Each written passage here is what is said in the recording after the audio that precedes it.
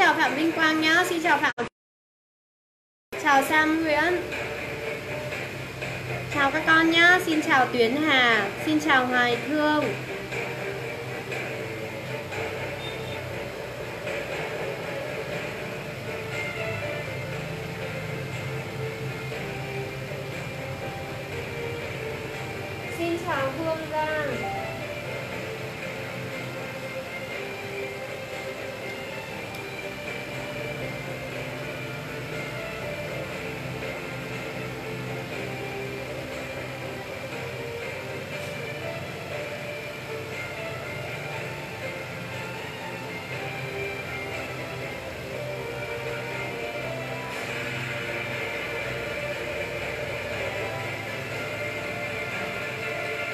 Chào Hiền Tâm, xin chào Ngọc Liên, chào Khánh Hà, xin chào Trang Di, chào Trung Tín nha. Xin chào Kim Hoa Phạm, chào Thơ Thơ. Chào tất cả nhà. Xin chào Vũ Hạnh Dung, chào Kim, chào Ngân Vũ nha, chào Hương Tiếp. Dung ơi. Dung ơi, con ờ, con con con add cái link ờ, uh, làm like này vào trong nhóm Medvip đi để cho các bạn biết các bạn còn vào học nữa con nhá. Xin chào Hip, chào Hàn Linh Chi. Chào con. Mẹ trẻ xinh đẹp chào cả nhà nhá. Ok. Xin chào Ngân Nguyễn.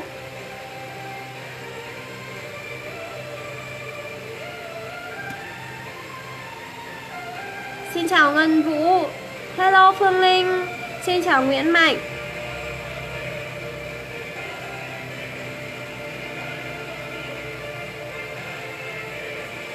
Xin chào Lê Quỳnh. Xin chào Hoa Thoa. Chào Lily Nguyễn. Mẹ chào Phúc. Xin chào Vũ Trang. À Vũ Trang ơi à, Trip chiều nay con đã à, hỏi chị Diệu chưa? Chị Diệu đã tư vấn cho con rồi đúng không? Chào Phương Linh nha. Xin chào Kiều Hoa. Xin chào Thanh Hà. Chào giấu tên, giấu tên nè Chào Hoa Thoa nhé Xin chào Trương Thị Chi. Hello con, xin chào Tiên Nguyễn. Xin chào Lê Quỳnh, chào An An nhá. Chào Trương Thị Chi. Xin chào Bảo Châu. Chào Hoàng Thu Phương. Xin chào Hoàng Minh. Chào Nguyễn Quốc Khôi. Ok, Dung vừa mới share cái link vào trong nhóm Medvip rồi. Xin chào Kiều Hiền. Chào Na Tây, chào Phương Vịt. Ok, mẹ cảm ơn Hip nhá. Hip đã gửi link vào nhóm rồi. Xin chào An An. Phương Vịt đang gọi Trương Thị Phương Anh. Xin chào Ngô Thương.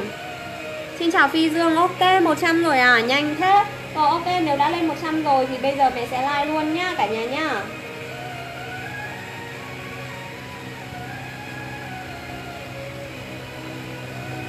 Xin chào Hà Nguyễn, chào Hoa Vô Khuyết, chào Hạnh Phúc Nỗi Đau. Ok Trang. À, Chị Diệu bảo con gửi số điện thoại của ship cho chị à? Rồi, chắc là để cho chị gọi lại ship và chị check lại thông tin đấy. Nhưng mà lần sau nhớ nha. Nếu à đấy thế là kinh nghiệm của Vũ Trang này. Nếu những bạn nào đã đặt sách rồi mà các con thường là các con đi học hoặc các con không nhờ được ai ở nhà lấy ấy thì các con nên gửi ở bưu điện và các con ra lấy nhá nó sẽ rất là tiện hơn á đấy, còn nếu mà chúng ta ship về nhà thì thì các con nhờ người lấy nhá. Ok, xin chào trương thị chi, chào hiếu đỗ minh. Bây giờ mẹ sẽ bắt đầu like luôn nha cả nhà nhá. Hôm nay chúng ta sẽ đu đưa. Hít vương nhi, tối nay bận rồi không học được à? Rồi, ok. Hôm nay mẹ sẽ đu đưa một chuyên đề, một chuyên đề rất là trọng tâm của hóa học lớp 9 và cái chuyên đề này thì chắc chắn là sẽ có trong đề thi đấy. Nhá cả nhà nhá. Có điều là nếu như chúng ta thi vào lớp 10 tức là những cái um, tỉnh những tỉnh mà có môn hóa là môn thứ ba thì sẽ thi vẫn là trọng tâm ở cả chuyên đề này nữa. Xin chào tú dương văn chào lê thanh hà nhá. Còn những uh, tỉnh thành nào mà môn uh, thi môn thứ ba không phải là môn hóa thì phần này chắc chắn nó cũng sẽ đá đưa trong đề thi đấy các con ạ. Nha. Rồi bây giờ mẹ sẽ vào chuyên đề số 5 nhá chuyên đề kim loại Xin phép cả nhà, mẹ bật bé nhạc xuống một xíu nha. Và ok. Phan Hạnh có ở đây không? Điểm danh đi con. Phan Hạnh có ở đây không nhở Phan Hạnh này. Ngân Vũ này. Trang này. Linh này. Lợi này. Vi này. Đấy, tất cả những thành viên trong nhóm khóa học lấy góc phá siêu tốc và luyện đề đỉnh cao Nhớ sau buổi live này các con đừng rời màn hình Và chuẩn bị bật ngay Zoom lên để chúng ta có thể học một buổi uh, học Zoom bảng cực kỳ chất nhá. Ok, hôm nay uh, trong khóa mẹ sẽ lấy, lấy lại gốc ôn bài tập luôn. Ba like chắc chắn là cả nhà cấy kỹ rồi đúng không? Rồi à, phần đấy thì để sau bây giờ mẹ sẽ quay lại chữ chuyên đề 5 cho cả nhà nhé còn những bạn nào muốn đăng ký khóa lấy gốc khóa siêu tốc và luyện đề đỉnh cao thì các con nhanh chóng đăng ký nhá bởi vì số lượng còn rất là ít nữa thôi, rất rất là ít nữa. Ok, xin chào Nguyễn Khánh Ly. Rồi bây giờ mẹ sẽ like Mẹ sẽ like chuyên đề số 5 nhá cả nhà. Cả nhà đã có sách thì mở chuyên đề số 5 ra giúp mẹ nha. Chuyên đề số 5 Chuyên đề số 5 kim loại này. Đấy. Phần lý thuyết là là mẹ đã Phần lý thuyết là mẹ đã um, tóm tắt hết rồi nhá. Toàn rất là trọng tâm. Ok. Nick Facebook của mẹ. Ok Thảo Vi Facebook của mẹ đây. Nick Facebook của mẹ đây nha. Thanh Hà Tạ. Đấy nhá. Phần link, phần link, phần link mẹ có mẹ có gắn ở bên trên đầu uh, tút nhá. Cả nhà có thể vào đấy xem. Ok, bây giờ chúng ta đi vào câu số 1 nhá. Câu số 1 nào? Câu số 1 theo cả nhà chọn đáp án gì? Câu này là lâu lâu rồi là chưa học đấy À lâu lâu rồi là không động đến á Không biết cả nhà có nhớ không? Nhưng không sao cả. Các con ạ, à, nếu như có sai Nếu như có sai thì chúng ta cũng coi như đây là một phần ôn lại nhá. Rồi, câu số 1 Câu số 1 Trong các kim loại sau đây, kim loại nào dẫn điện tốt nhất? Đó trong những kim loại sau đây thì kim loại nào dẫn điện tốt nhất? Nào.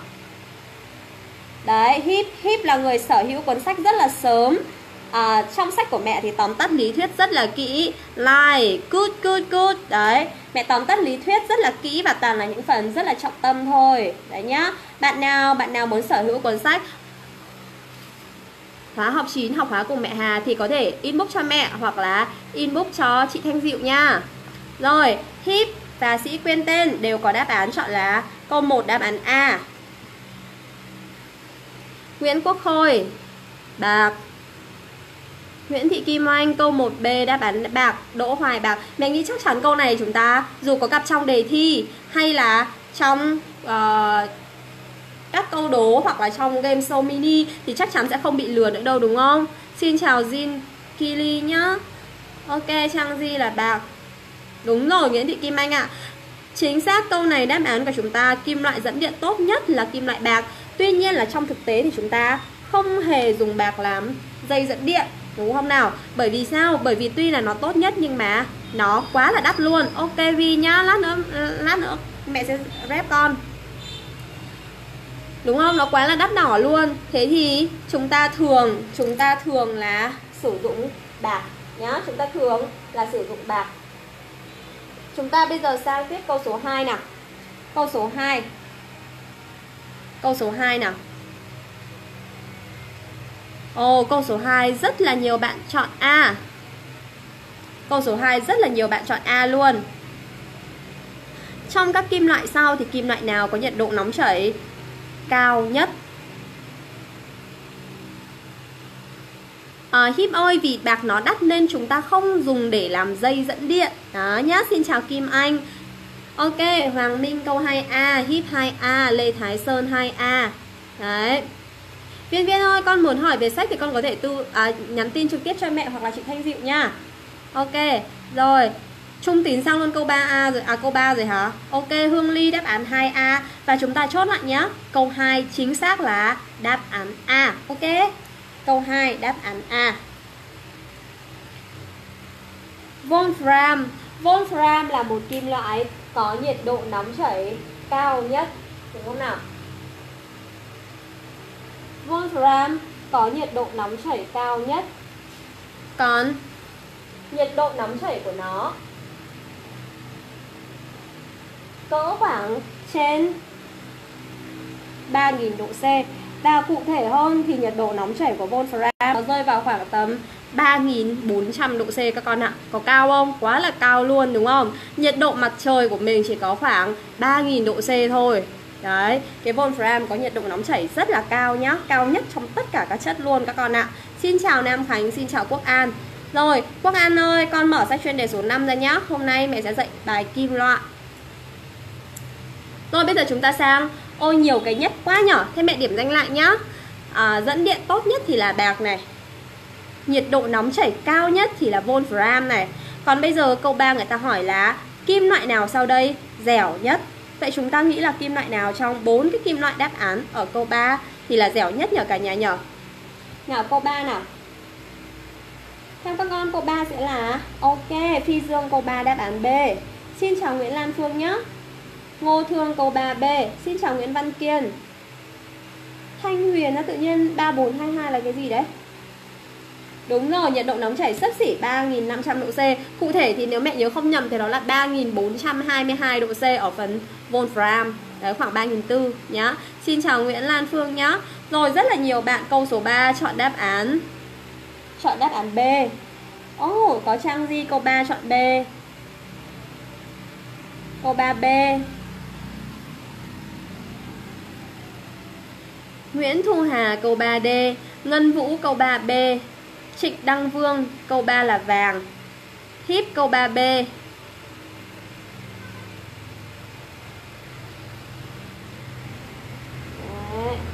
Ok, rất là nhiều, rất là nhiều bạn chọn đáp án của câu 3 luôn Và ô oh, mẹ thấy là nhiều đáp án khác nhau quá. D cũng có, B cũng có. À còn có cả Thanh Hà đáp án A luôn Cùng tên với mẹ luôn này. Câu 3 chọn đáp án A. Ok, xin chào Cún Cún nhá rồi, vậy bây giờ câu số 3 Câu số 3 chúng ta nhớ lại này. Để lần sau nếu có gặp thì chúng ta cũng đừng mắc bệnh nó nữa nhá.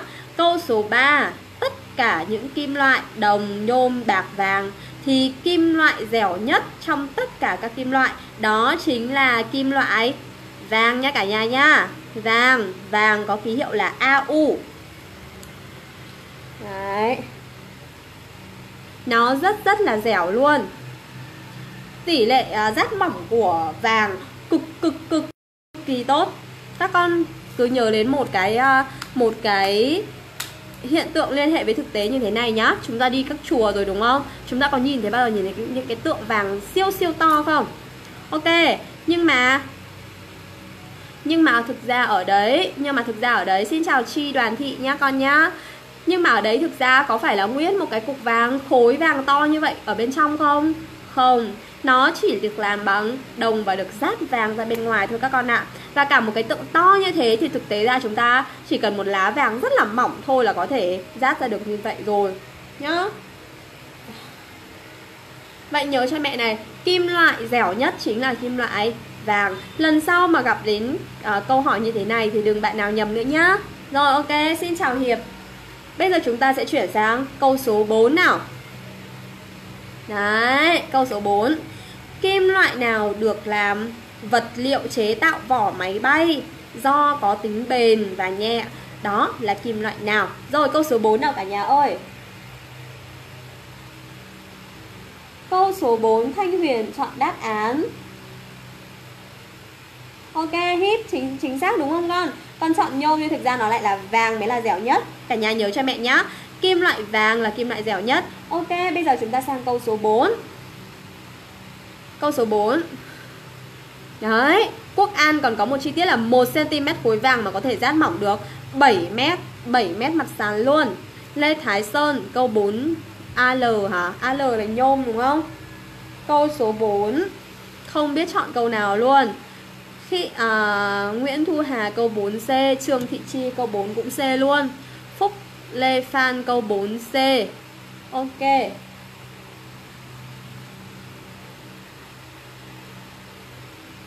Hiệp 4 là nhôm hả? Minh Anh 4C Ok Và chúng ta không còn có gì phải bàn cãi ở đây nữa Chắc chắn kim loại mà được dùng để chế tạo vỏ máy bay Nó có tính bền và nó rất là nhẹ Đấy là gì? Đấy chính là kim loại nhôm đúng không nào? kim loại nhôm nhá Ok, kim loại nhôm câu 4 đáp án C Rồi, vậy bốn câu này mẹ tổng kết lại một lượt nữa này Kim loại dẫn điện tốt nhất là kim loại bạc. Kim loại có nhiệt độ nóng chảy cao nhất là Wolfram Kim loại dẻo nhất là vàng. Và cuối cùng, kim loại có tính bền, nhẹ và thường được làm vật liệu chế tạo vỏ máy bay chính là kim loại nhôm đúng không nào? Nhá. Ok thanh hà sĩ quyên tên. À, đỗ hoài hiếp phan họ nguyễn. Sĩ quyên tên. Nguyễn Văn Kiên, Hương Ly, Sunny Trần, Hà Trang Tất cả những bạn có đáp án C đều là đáp án chính xác. Ok, bây giờ chúng ta sẽ sang câu số 5 nhé Nào, bây giờ chúng ta sang câu số 5 nào. Câu số 5 Ok, câu này. Đúng không? Đúng không nào? Quá là EZ luôn. Nào, chúng ta sẽ chọn câu nào trong câu số 5 đây? Kim loại được dùng làm đồ trang sức vì có ánh kim rất là đẹp. Vậy đó là kim loại nào? Wow, câu này thì quá là dễ rồi đúng không?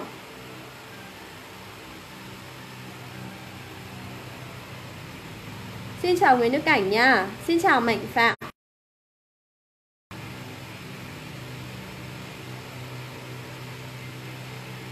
Đấy. Câu này dễ ăn lắm. Câu này dễ ăn lắm nhưng mà nếu mà chúng ta giả sử mà có bạn nào mà không nhớ ký hiệu hóa học của các nguyên tố thì thôi. Câu này cũng cũng toang luôn, đúng không? Đấy. Bạn nào mà không nhớ được vàng là ký hiệu như thế nào thì cũng cũng toang đúng không? Nhá. Rồi. Câu số 5 câu số 5 chính xác, Kiều Hiền.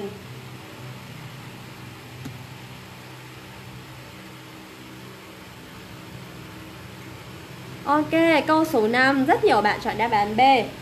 Đúng không nào? Và câu số nhòe, ok để mẹ chỉnh lại nha cả nhà nhá. Xin chào Thảo Hủ. Ok để mẹ chỉnh lại để mẹ chỉnh lại.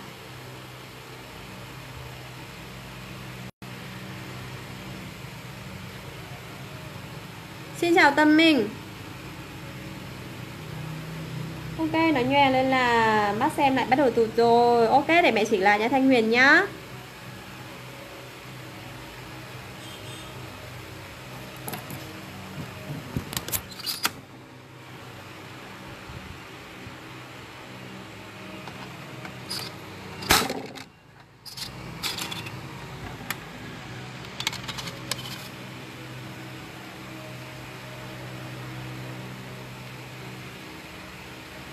Rồi, ok, nào chỉnh lại này Lấy nét này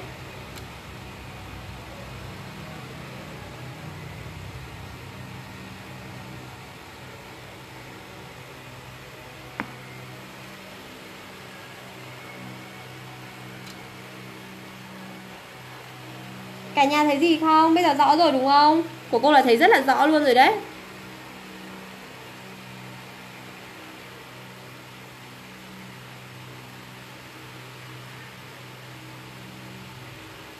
Cả nhà đợi xíu xíu nha Ngô Thương, Ok.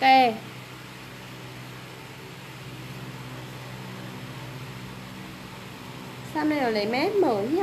Ok, được rồi, Nga Phạm được rồi, đúng không? Xin chào Chi Chi nhá.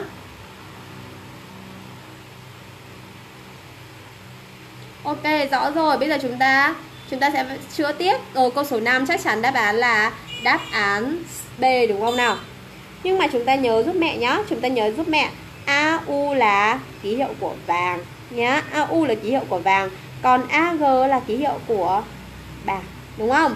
Cho thẳng vàng với bạc có khi có được khoanh luôn. Đấy, khoanh luôn vàng bạc. Nhưng mà nhưng mà đưa AG với AU vào là có khi lại nhầm đấy, đúng không? Bởi vì cái kim loại vàng chúng ta cũng ít gặp đến nó nhá. Thế cả nhà nhớ cho mẹ nhá là kim loại được dùng làm đồ trang sức vì có ánh kim rất là đẹp. Đấy chính là vàng và và bạc. Ok chúng ta sang câu số 6 nha.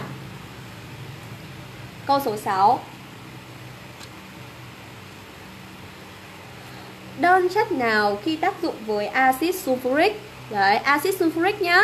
Ở đây thì công đề bài cho thẳng là H2SO4 nhưng mẹ sẽ đọc tên để làm gì? Để khi chúng ta nhìn thấy hoặc khi đề bài không cho công thức mà lại cho tên thì chúng ta cũng biết là đấy là uh, chất có công thức như thế nào. Được chưa nào? Đơn chất tác dụng với dung dịch H2SO4 loãng giải phóng khí hydro là Ok, bây giờ chúng ta chọn câu số 6 là đáp án gì nào? Ồ, oh, rất nhiều bạn chọn đáp án C là kẽm, đúng không? Cún cún câu 6 chọn đáp án A. Lê Thái Sơn câu 6C, Nguyễn Thị Kim Anh câu 6C Đấy, Lê Thanh Hà còn chi tiết hơn đấy là đồng thì còn không tác dụng với H2SO4 ở điều kiện thường luôn, đúng không? Rồi, và câu số 6 chắc chắn chúng ta sẽ chọn đáp án Đáp án gì nhỉ? Hoàn họ Nguyễn chính xác chúng ta sẽ chọn đáp án C đúng không nào? Đấy nhá Chúng ta sẽ chọn đáp án C ở câu số 6 Đó chính là kẽm Được chưa nào?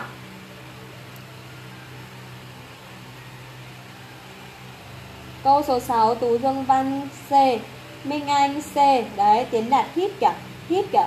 C, Kẽm. Bạn ý viết luôn cả phương trình luôn nhá. Là kẽm cộng với H2SO4 Tạo thành ZnSO4 đồng thời giải phóng H2 Không cần cân bằng.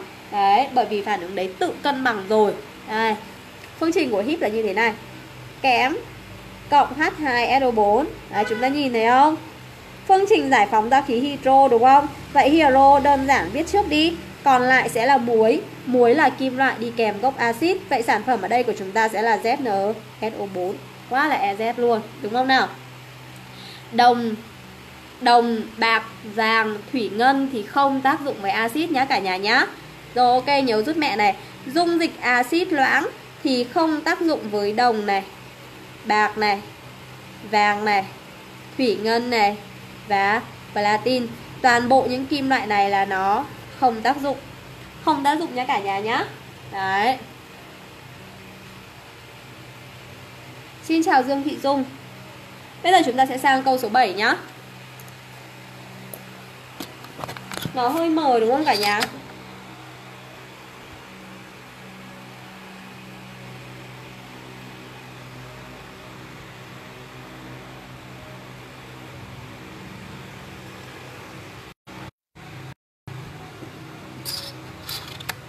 Nét chưa cả nhà ơi, Cả nhà ơi Cả nhà ui. Nét chưa các con?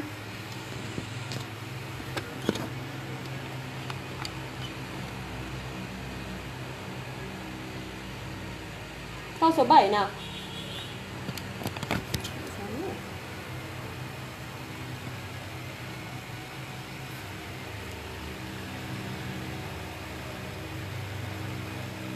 Câu số 7 nào?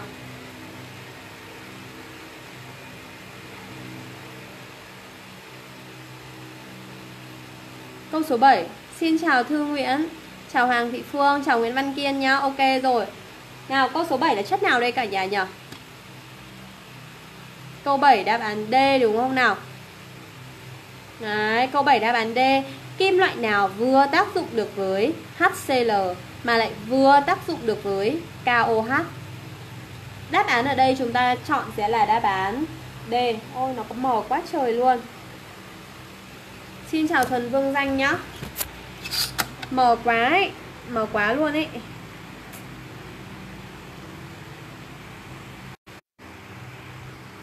Rồi ok, lại được rồi. Linh vừa gửi ảnh gì đấy con?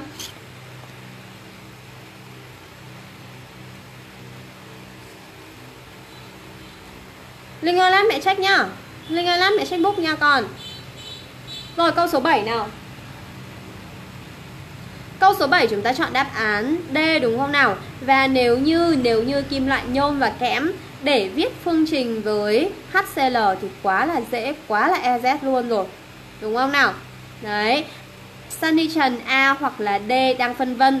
Rồi vậy thì chúng ta không cần chọn A nữa mà chúng ta hãy chọn đáp án ở chính xác ở đây là đáp án D nhá. Đấy, đáp án chính xác ở đây là đáp án D. Nồi cơm điện con bị mất gốc luôn. Ok, cô đang à, mẹ đang có một cái khóa lấy gốc hóa siêu tốc và luyện đề đỉnh cao. Đấy luyện đề để cho chúng ta không phá đề thi cuối năm hoặc là chúng ta chuẩn bị cho kỳ thi lớp 9 vào 10 những bạn nào muốn đăng ký thì có thể inbox cho mẹ nhá để được tư vấn hoặc là chị Tình Vũ quản lý PET 2K5 nha. Ok. Quốc An đang học tự nhiên mất mạng. Đấy hôm nay mẹ kiểu ừ, bị nghẽn ấy, bị tắc đường ấy do là hôm nay cả nước đi học luôn Thế là bị nghẽn mạng rồi. Nào bây giờ chúng ta xem là ở cái câu 7 này nếu chọn đáp án D Thì phương trình của nhôm kẽm tác dụng với HCl thì quá là EZ luôn đúng không? Rồi bây giờ mẹ sẽ viết phương trình của nhôm kẽm tác dụng với axit trước nhá. Bạn nào quên thì các con tự viết lại để nhớ lại lần nữa nha. Rồi Nhôm cộng với axit Kim loại cộng axit thì sản phẩm sinh ra H2 và muối Đúng không nào? Đấy Muối AlCl3 nhá. Viết phương trình thì phải cân bằng Còn không cân bằng thì đừng làm nữa. Xin chào Khánh Đình nha con. Chúng ta cân bằng 2 vào AlCl3 nhá. 2 vào nhôm, 6 vào HCl và 3 vào H2 Được chưa nào? Đấy, phương trình này bây giờ cân bằng quá là EZ rồi. Bởi vì trong khóa lấy lại gốc khóa siêu tốc Mẹ dạy nguyên một cái chuyên đề cân bằng quá là quá là kỹ luôn rồi. Đấy, nhá. Rồi, bây giờ chúng ta sang phương trình của kẽm cộng với HCl Đúng không nào? Sản phẩm chắc chắn thì vẫn có khí H2 Đấy. Và muối ở đây của chúng ta sẽ là ZN Không phải là Cl2 nữa, cả nhà nhớ cho mẹ nhá. Kẽm chỉ có hóa trị 2 thôi Nên muối của chúng ta sẽ là ZnCl2 Không phải ZnCl3 nhé cả nhà nhé Được chưa nào? Và phương trình ở đây đương nhiên chúng ta sẽ cân bằng hai vào HCl Được chưa nào? Hai phương trình này thì quá là quen thuộc rồi. Hai phương trình này thì quá là quen thuộc rồi. Chỉ có phương trình với KOH này Hơi lạ lẫm với chúng ta một tí thôi. Bây giờ mẹ sẽ hướng dẫn cho các con viết nhá. Nhôm cộng Nhôm cộng NaOH các con nhớ cộng cả H2O cho mẹ nhá. Đấy. Chỉ có hai kim loại. Chỉ có hai kim loại. Trong chương trình lớp 9 Chúng ta học Có khả năng tác dụng với NaOH Đó là kim loại nhôm và kim loại kém. Được chưa nào? Đó là kim loại nhôm và kim loại kém Nhá. Thương Nguyễn con ơi, bài này ở chuyên đề số 5 con ạ, là chuyên đề kim loại á. Xin chào Nguyễn ni nhá. Rồi, cả hai phương trình, cả bốn phương trình này. À, ok, nhôm cộng cao H để mẹ sửa lại nhá. Để mẹ sửa lại. Đấy Các con thấy mẹ thích viết bút chỉ và bút xá được không? Viết để nếu mà viết sai thì chúng ta còn sửa lại. Mẹ không bao giờ sợ viết sai luôn. À, hip phương trình chính xác rồi, đúng không? Nhôm cộng cao H cộng nước thì sản phẩm có H2 cộng K AlO2 Đúng không nào? Đấy, Quá là tốt luôn Chính xác rồi đấy KALO2 Cái chất này chúng ta gọi là kali aluminat nhá Kali aluminat Kali alum minat Đấy, các con ạ à. Bởi vì sao? Bởi vì sao lại là aluminat Kali thì chúng ta biết rồi, đúng không? Kali thì chúng ta biết rồi nhá. Còn aluminat Alumin là tên của nhôm theo tiếng Latin. Đấy, Phan Họ Nguyễn ơi, không hề có kim loại lưỡng tính nha con. Đấy, có rất nhiều bạn nhầm lẫn chỗ này. Nhôm và kẽm không phải là kim loại lưỡng tính nhá. Đấy, nó không hề lưỡng tính tí nào luôn. Ok Tú Dân Văn. Ok Tú Dân Văn Lát nữa mẹ sẽ review cái bút này nha. Đấy.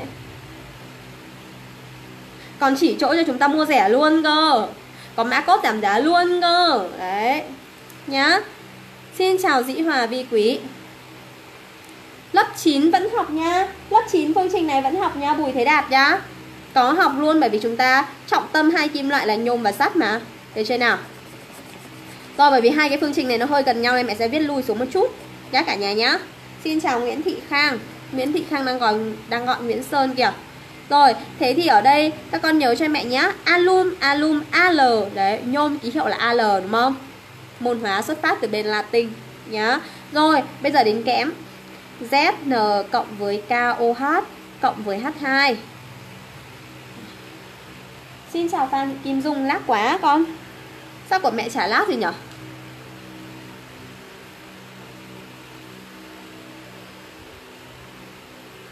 Đấy thánh Đình bút xịn thế. Xịn chứ đúng không? Mẹ cực kỳ thích viết bút chì và viết bút này. Đấy. Bút này trong kia mẹ còn có một ờ, một một một rổ cơ. Lát nữa mẹ sẽ mang ra review cho cả nhà nhá. Đấy thế thì phương trình này, phương trình này. À ok, phương trình ở bên trên chúng ta nhớ phải cân bằng Đúng không nào? Viết phương trình thì phải cân bằng Còn không cân bằng thì đừng làm nữa Được chưa? Bây giờ chúng ta nhìn nhá Các con sẽ nhanh chóng thêm. À, Chúng ta thấy ở đây có 3H đúng không? 3H ở bên này chỉ có 2H thôi. Vậy thì bội chung nhỏ nhất là là 6 Vậy các con có 6 thì chia 2 thì được 3 Thêm 3 vào đây nhá. Thêm 3 vào đây. Thêm 3 vào đây. Được chưa nào? Rồi ở chỗ này chúng ta có 2 à, H2O ở đây có 2 đúng không? Thêm 2 vào đây này. Thêm 2 vào đây này. Đấy. 2 với 4 là 6 nhá. 2 với 4 là 6 Được chưa nào? Thêm 2 vào KOH thì mặc định phải thêm 2 vào KALO2 Đúng không? KALO2 Và oh, sau khi thêm 2 vào KALO2 thì chúng ta lại thấy xuất hiện có hai nhôm. Vậy thì nhanh chóng thêm 2 vào AL thôi. Được chưa nào? Rồi phương trình bây giờ đã được cân bằng rồi nhá. Đã được cân bằng rồi. Bây giờ đến phương trình tiếp theo, ZN cộng KOH cộng H2O thì sản phẩm sẽ ra gì? Chắc chắn là vẫn có H2. Các con đừng quên cái H2 của mẹ nhá. Đấy. Rồi, cộng với Bùi Thế Đạt Bây giờ người ta không bán nữa hả? Vẫn có chỗ bán luôn Mẹ chỉ cho các con chỗ mua bút Xin chào tình vũ Lát quá Mạng thì mẹ căng đét HD Full HD 1080 luôn Rồi Thế thì chữa nốt câu này nha cả nhà Xong mai mạng ngon lành gần đào chúng ta chữa tiếp nhá Đấy Rồi ok hit Mẹ gửi link địa chỉ mua bút à, Sản phẩm ở đây Sản phẩm ở đây chúng ta ra K2 ZNO2 nhá. K2ZNO2 nhớ này. Nhôm thì chỉ có một kali thôi nhưng mà kẽm là phải có hai kali nhá. Cái này hôm sau mẹ giải thích cụ thể sau được không? Nhá. Rồi phương trình cân bằng chúng ta nhanh chóng thêm hai vào cao OH tự nhiên thì có cái con hai ở đây mà. Đúng không nào? Rồi ở đây xong chúng ta thấy có 2H này. 2H trong KOH này 2H trong nước này. Vậy là tổng cộng có có 4H vậy nhanh chóng thêm thêm 2 vào H2O nha. Thêm 2 vào H2O nha. Uh, để mẹ xem nào. No, vậy thì chúng ta thêm vào đây thì nó lại không đủ oxy mất rồi đúng không? Ờ, để mẹ xem lại nhá. 2K này, 2 này. Đúng không?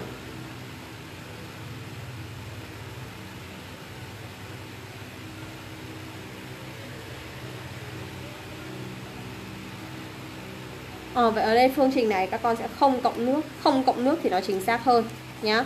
Phương trình này chúng ta không cộng nước nhá Bởi vì cộng nước là nó không cân bằng được. Đấy, được chưa? Rồi.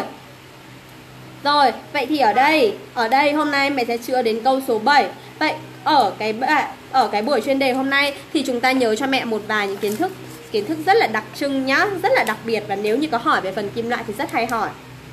Đấy. Sunny Trần theo dõi buổi live tiếp theo nhé Buổi live tiếp theo mẹ sẽ hướng dẫn các con để nhớ là hai cái phương trình này. Hai phương trình này nó khá là đặc biệt nhá. Rồi, bây giờ bây giờ chúng ta chúng ta xem là buổi hôm nay chúng ta cần nhớ được cái gì. Thứ nhất Kim loại dẫn điện tốt nhất này, Bút này Việt Nam Airlines này. Đấy, Mẹ toàn có hàng độc nhá. Bút này của Việt Nam Airlines này, Viết cực trơn, cực thích luôn. Mẹ toàn bút hịn thôi. Đấy. Sau này mẹ Hà sẽ mở một ờ, một một một ờ, shop chuyên bán bút hịn cho cho cho tất cả các con. Đấy, toàn bộ một triệu học sinh ở trên đất nước Việt Nam, mẹ Hà sẽ cung cấp bút cho các con, toàn bút hịn. Đó. Nào. Thứ nhất chúng ta nhớ cho mẹ là kim loại dẫn điện tốt nhất kim loại dẫn điện tốt nhất Đấy, hôm nay chúng ta có kim loại dẫn điện tốt nhất là là Ag đúng không? Kim loại dẫn điện tốt nhất là Ag. Con là con hay viết sai chính tả nắm lên có bút của mẹ là con được 10 điểm ngay chính xác. Đấy. Cái thứ hai, cái thứ hai, kim loại dẫn điện tốt nhất là Ag đúng không? Kim loại dẻo nhất. Đấy, nhớ vài cái kim loại nhé. Kim loại dẻo nhất là gì? Đấy, là AU đúng không? Vàng. Tiếp. Kim loại có nhiệt độ nóng chảy cao nhất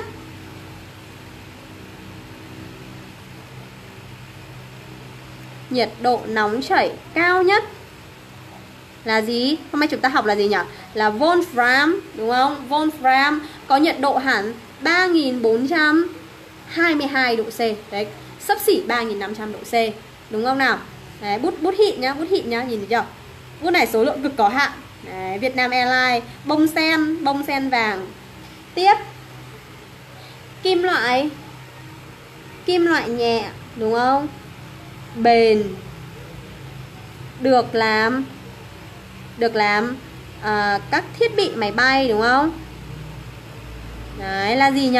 Là nhôm đúng không nào? Rồi kim loại đẹp đúng không? Được làm đồ trang sức. Đấy. Thì chúng ta nhớ cho mẹ là có kim loại bạc và kim loại vàng. Đấy nhá. Rồi, ok và cuối cùng cuối cùng các con nhớ cho mẹ là kim loại đồng bạc, vàng, thủy ngân, platin thì không tác dụng với axit, đúng không? Dung dịch axit, đấy nhá. Hôm nay lý thuyết chỉ cần nhớ cho mẹ mấy cái cạnh đầu dòng này là ok, ngon lành cành đào rồi đấy. Nhá, cả nhà nhá. Rồi, ok. Buổi live tiếp theo của chúng ta sẽ được tổ chức vào 20 giờ tối thứ tư của tuần này. Xin chào Phương Vi, Nhất Trương nhá. Trời ơi, sao mà vào Sao mà vào nhanh thế Hít có thể thay ngòi được không? Có thể thay ngòi được con ạ Thay ngòi được luôn, nhá Đấy, viết cực tiện. Rồi ok. Nhưng mà thực ra là cái bút viết được à, viết xóa được này mẹ còn thích à, mẹ không thích bằng viết bút chì cơ. Vì sao các con biết không? Viết bút chì tốc độ viết cực nhanh. Đấy sai vẫn có thể xóa được. Mẹ không hề sợ viết sai khi viết viết bút chì. Đấy mà tốc độ viết bút chì nó cực nhanh nó cực lướt luôn. Đấy nhá. Rồi ok. Đấy. Rồi bây giờ các con nhớ này nhớ giúp mẹ nhớ nhớ giúp mẹ nhớ giúp mẹ những cái gạch đầu dòng này nhá. À ok review nhá review. Đây từ từ mẹ phải mang cái kho tàng bút của mẹ ra đây đã mẹ có cực kỳ cực kỳ nhiều bút không luôn và mẹ rất rất là thích bút. Mẹ rất rất là thích bút. Mẹ tìm hiểu cực nhiều về bút. Thế nên là khi mà à, học sinh có tặng quà mẹ học sinh toàn tặng bút thôi. Đây cả nhà nhìn này. Tinh tinh ấy bút này viết như là bút ngày xưa ấy. Đấy cả nhà nhìn nhá, nét cực đẹp luôn.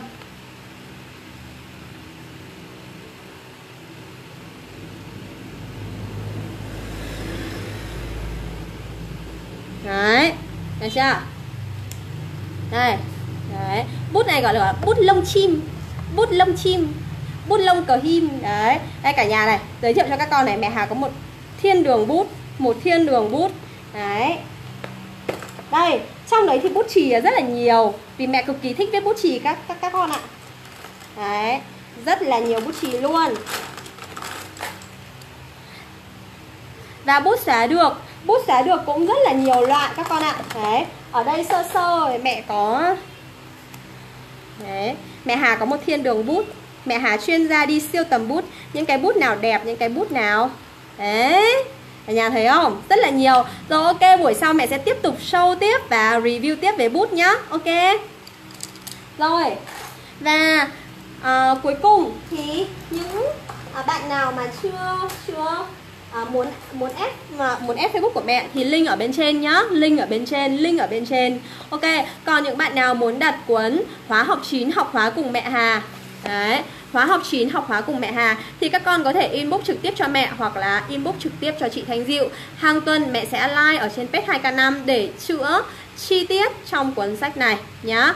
Chữa chi tiết và giải đáp thắc mắc của các con trong cuốn sách này. Ok, nhóm Med VIP, nhóm nhóm những bạn đã sở hữu cuốn sách này của mẹ các con nhớ chủ nhật tuần này chúng ta lại tiếp tục có một buổi thi thử và họp zoom chữa đề tiếp nha. Ok. Xin chào cả nhà. Bye bye các con. Bye bye.